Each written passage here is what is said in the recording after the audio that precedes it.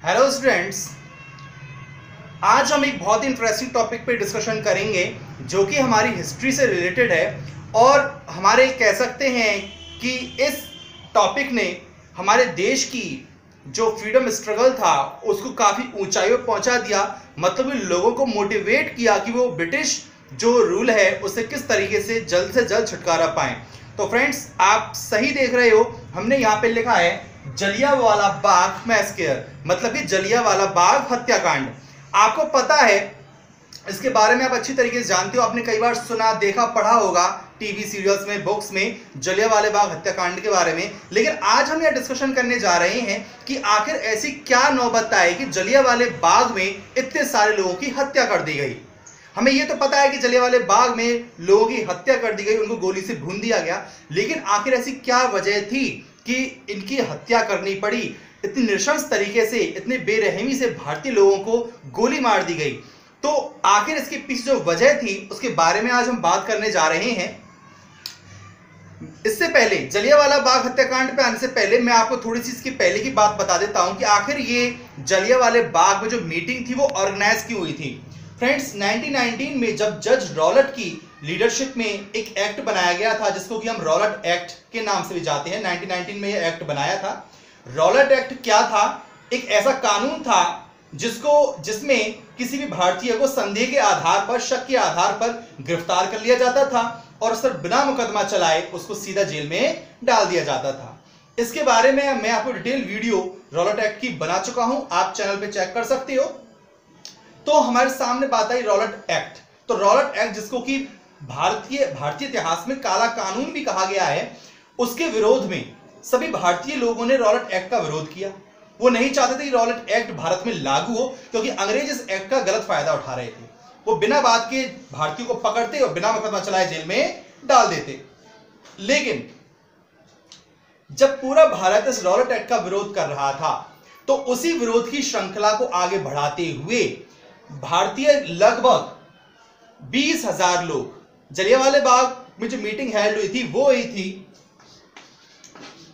13 अप्रैल 1919 में तो फ्रेंड्स 13 अप्रैल 1919 में जलियावाला बाग की मीटिंग हेल्ड हुई थी और उस दिन पूरा देश बैसाखी के त्योहार में एंजॉय कर रहा था। उस दिन हमारे देश में बैसाखी का त्योहार था और जलियावाला बाग पंजाब के अमृतसर में ये जलियावाला बाग है।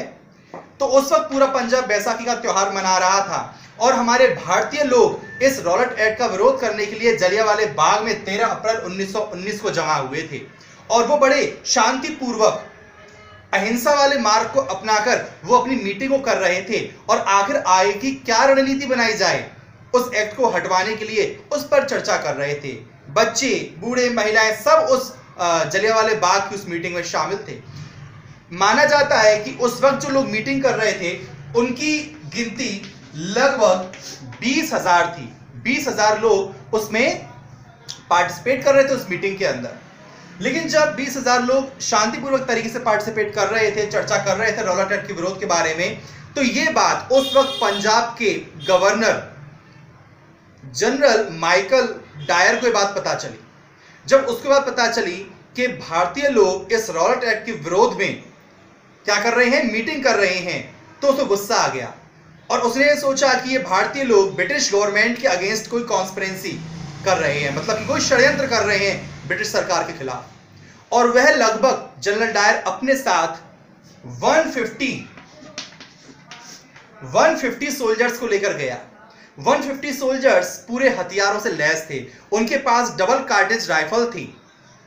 वो वहाँ गए। और जलिया वाले बाग को चारों ओर से अंदर से घेर लिया गया।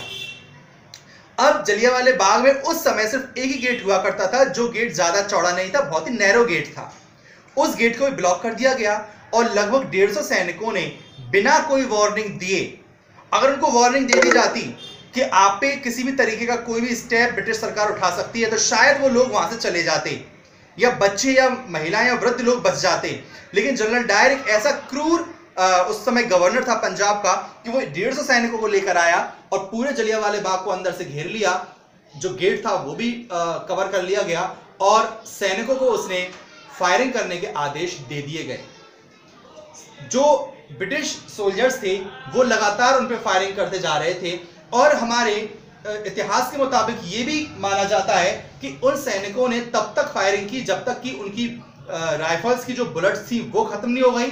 उनके पास में जो रिज़र्व बुलेट्स थी, वो खत्म नहीं हो गई। तब तक वो फायरिंग करते रहे।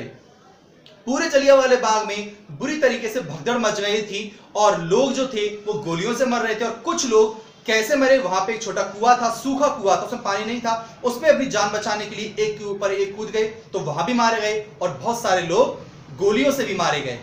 तो लगभग ब्रिटिश गवर्नमेंट ने जब इस हत्याकांड को पूरा कर लिया था तो उसके बाद में एक आंकड़ा जारी किया कि लगभग 379 कितने? 379 जो लोग हैं भारतीय, वो मारे गए हैं। अंग्रेज़ों ने कहा था कि ज़्यादा लोग नहीं मरे 379 जो लोग हैं, वो सिर्फ़ मारे गए हैं। जबकि कांग्रेस कमेटी ने अपनी रिपोर्ट में यह बताया था कि ब्रिटिश गवर्नमेंट ने यह गलत आंकड़ा बताया है, भारतीय लोग 379 नहीं मारे गए, लगभग 1000 भारतीय जो लोग हैं वो मारे गए हैं। मतलब कि 1000 से ऊपर जो लोग हैं वो भारतीय मारे गए। इस बात को देखते हुए पूरे देश में विरोध की लहर दौड़ गई और जनरल डायर को सजा देने की जो मांग थी, वो जोरों पे आ गई। लेकिन ब्रिटिश गवर्नमेंट ने जनरल डायर को कोई खास सजा नहीं दी। बस उनको भारत से वापस ब्रिटेन बुला लिया गया। बस। तो फ्रेंड्स, आज हमने समझा कि जलियावाला हत्याकांड आखिर क्यों हुआ था?